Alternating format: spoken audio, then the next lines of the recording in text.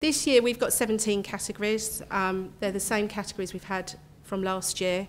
Um, they're all different um, industries, and on top of that, we have most inspiring, best networker, best business, and best new business. So those ones are quite general. Um, and our categories are business services.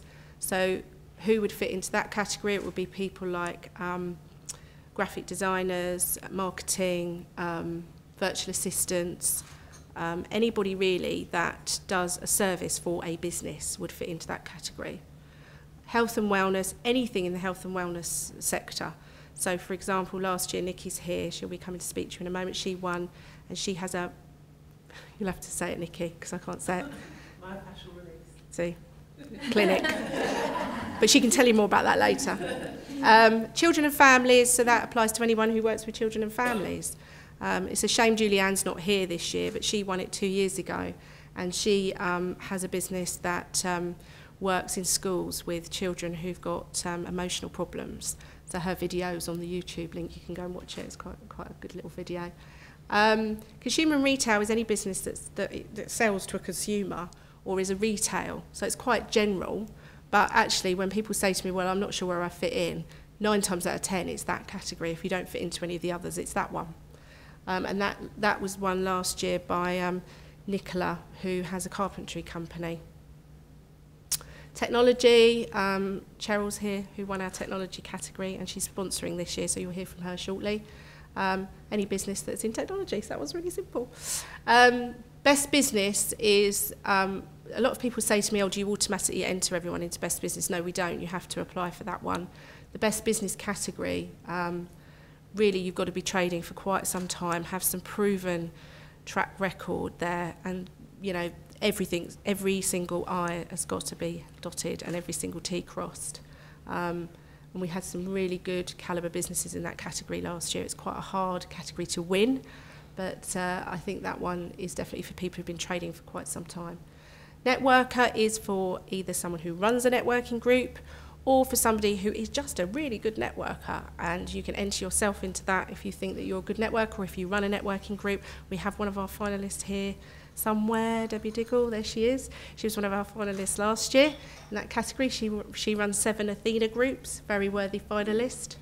Um, new business, so if you've been trading less than two years, then um, the judges are looking for that next big great business that's coming and our new business winner is also here this year which is from last year that's Sherry from Balance Chiropractic.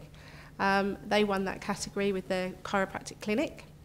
Customer service um, we're looking for people with good customer service procedures dealing with how you deal with complaints how do you reward your customers how do you nurture your customers?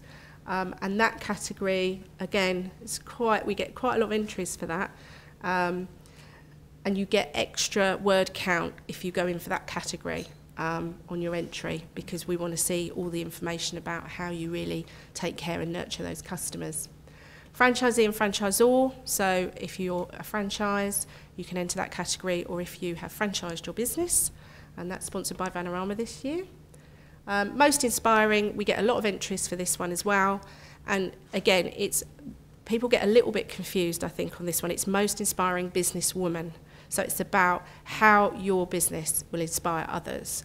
Why are you an inspiring businesswoman? I think a lot of people think it's to do with personal journey, and it's not really, unless it's relevant to the business. So it's all about what have you achieved in business and why would you inspire others. So Jacqueline O'Donnell was our winner from last year from um, O'Donovan Waste, and predominantly a very male-dominated industry. She'd had the business since she was, well, worked in the business since she was 16 and then took the business over. An incredibly inspiring woman, actually, and really has achieved something in, in a man's world, really. Recruitment, as I said, Julie's here. She won that last year, so that's self-explanatory. if you're a recruitment business, that's your category. Legal services, we have our winner Camilla here from last year. Again, if you work in legal services, that one explains pretty much what it does on the tin. And the last one is our coach category. Again, best coach, um, we're looking for people either life coaching or business coaching um, can enter that category. So hopefully that's kind of briefly explained all the categories and there is some more examples on our website as well. And you can enter up to three. So if you're putting your business into one of the industry-based categories, you may as well enter perhaps for most inspiring or best business or new business, wherever you think you fit as well.